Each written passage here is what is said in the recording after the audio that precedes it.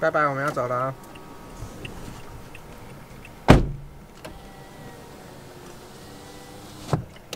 要走啦，要回家啦。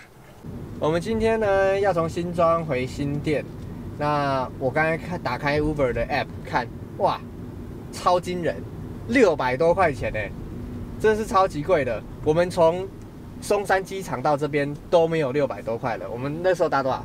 四百，三百多，三百多，对不对？四百多。从这边到新店竟然要六百多，根本搭不下去啊！可是现在又在下大雨，所以我们想说，那不然干脆呢，我们来租车租 iRent。哎，其实我发现现在还蛮方便的，因为它可以路边租还，所以你可以假租乙还，而且它就是车子散散布在很多的地方，那刚好离我们大概八百公尺就有一台车，我刚才就先走过去领取车这样子。然后它其实整个流程也蛮方便的，就是你看到之后，你可以用 App 或者是你绑定的悠游卡，那你就可以解锁，然后解锁完之后就可以取车，而且车资其实很便宜。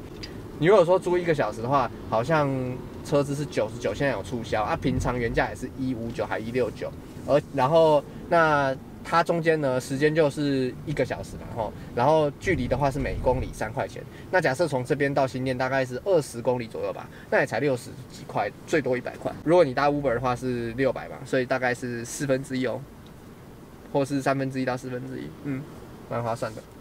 如果大家有驾照的话，也可以尝试这种方式。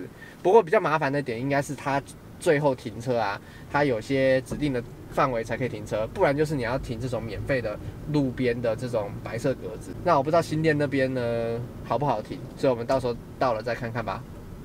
去过的美国去青年中山的一个国家，到到黑蓝，玩哪一个方式呢？如果你的网络不够好的话，租这个艾瑞会很崩溃，因为你在还车的时候需要拍照，然后再上传一张，要给我上传二十秒，而且还跟我说我网络有异常，到底有什么异常？没有异常啊，不是四 G 吗？傻眼，怎么办？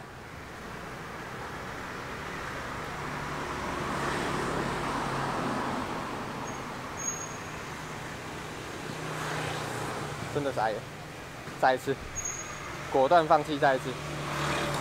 现在是十六趴，希望不要到时候没电，我就崩溃。上理论上这个是一个很 smooth 的过程，但是当你今天有网络的问题，你整个还车就会变得很崩溃。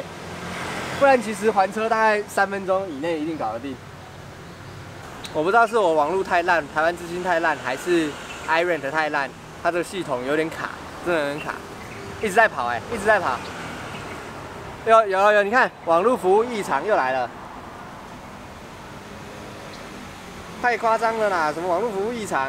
那、我要还车呢？我们刚才还完车，我们这趟总共是两百二十七，但其实是因为我们有预时超过时间，因为我们本来是租一个小时，那一个小时正常来说一定够你呃租车加还车，但是我们呃因为刚刚我们东西很多，所以我们停到我们家的车库，然后那边呃搬了两趟。所以我们有超过时间，那就被收了一百一十块。如果没有预时的话呢，我们的时间应该是呃一个小时内可以搞定。所以正常价格含里程完之后，应该是一百一十七。所以跟计程车比起来，大概是五分之一到六分之一，所以其实它蛮划算的。但是我建议啊，最好是要有一个比较好的那个，最好是要有一个比较好的网路，不然我们刚才还车的时候超崩溃的。